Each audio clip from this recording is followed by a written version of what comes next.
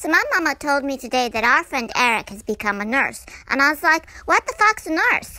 And mama's like, well, SoSo. A nurse is somebody who takes care of people. Like I take care of you. And I was like, oh, so you mean that people scream for tuna, and so Eric gives them tuna, and then they hit him on the head when they want more tuna, and then he like wipes out the snot goobers from their eyes and picks up their poopy? And Mama was like, well, sort of. And I was like, are you a nurse, Mama?